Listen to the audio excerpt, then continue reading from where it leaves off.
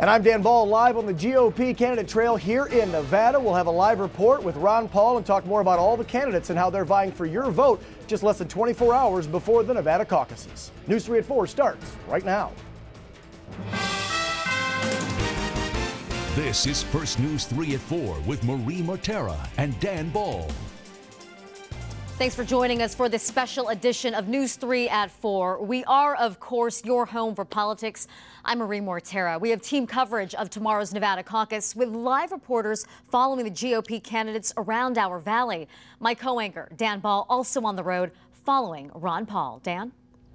Well, right now we're at the Leatherneck Club. That's on Spring Mountain in Arville. Marie, in just about an hour or so, Ron Paul due to show up actually at American Shooters, which is a gun store and shooting range just behind the Leatherneck Club. He's going to do a little meet and greet there and then come here for the rally, talk with Filipino veterans and veterans in general about veterans affairs. So we've got some video from some of his stops that he made up north yesterday. He was in Elko and then Reno at some fundraisers and rallies there. Currently, he's in Pahrump at a rally and fundraiser and then will make his way back here to the valley tonight one last big push for Texas Congressman Ron Paul before our caucuses tomorrow. We have all angles covered for you today. Right now, of course, a lot of folks, the talk is Mitt Romney. He, you recall, won the Nevada caucus in 2008, and they believe he may do as well tomorrow. Ron Paul, possibly a second or third. He's hoping for some double digit numbers tomorrow. But let's throw it over to Jerry Brown and talk about what Mitt Romney's up to today. Jerry? All right, let's check in with my co anchor, Dan Ball, one more time. Dan, you're at Arville and Spring Mountain, where presidential candidate candidate Ron Paul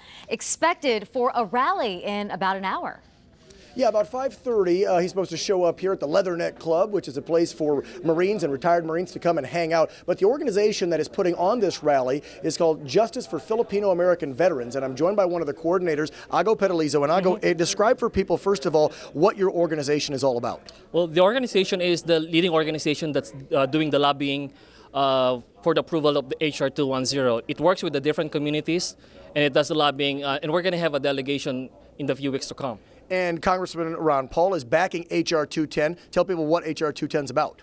HR 210, it's actually the the bill that that um, that um, we, we intend to reverse the Rescission Act, and by doing so, we want to have equal benefits, full recognition for the World War II vets who fought for America side by side with, with their American brothers. And you're hoping to hear more of that support from him tonight in about an hour or so, correct? Ex exactly. And he already made the statement that he's fully supporting the bill, making him the 87th co-sponsor for the bill the 87 sponsor for the bill already. Yes. Okay, Ago, thank you very much. Can't wait to hear what the congressman has to say about that, being a vet myself, and of course, Congressman Ron Paul, an ex-Air Force guy like myself. So in about an hour or so, he'll do a meet and greet at the American Shooters, and then come here. We will have continuing live coverage coming up at 5 and 6 right here on News 3. We'll see you then.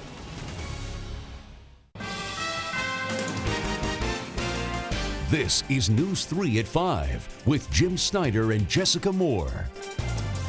Good evening, everyone. Thanks for having us in. And here we go. The national spotlight is on Nevada with just hours to go until tomorrow's GOP presidential caucus. Three of the four candidates are in Southern Nevada vying for your vote. We have team coverage to bring you all of the details from Mitt Romney, Newt Gingrich, and Ron Paul's stops today in Southern Nevada.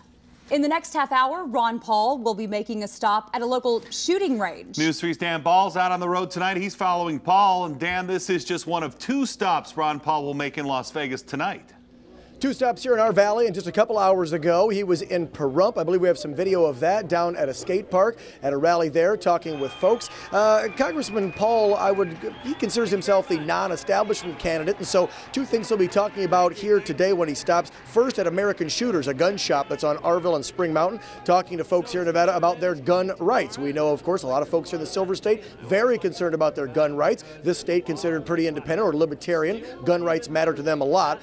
After that quick meet and greet at American Shooters. He will literally just walk across the parking lot to where I'm standing and come here to the Leatherneck Club. Now, the Leatherneck Club is a nonprofit group of retired and Marine veterans, and they're actually not the sponsors. They're housing Ron Paul to have this rally, but who's actually putting on the rally are the Filipino American Veterans Association. These are guys who have a bill in the House right now. It's H.R. 210. This is to amend Title 38 and get more benefits for Filipino Americans who fought in World War II. So they're actually sponsoring sponsoring the rally here for Congressman Paul. We expect him to arrive in about 25 minutes. I've spoken with some of the veterans here, whether they're the Marines or the Filipino Americans putting on the event, saying that, well, they're backing him because he is one of 87 congressmen that is backing their support of H.R. 210, and they believe in more states' rights, which we know Congressman Paul talks a lot about that, and that's what they hope to hear from him in just about 25 minutes.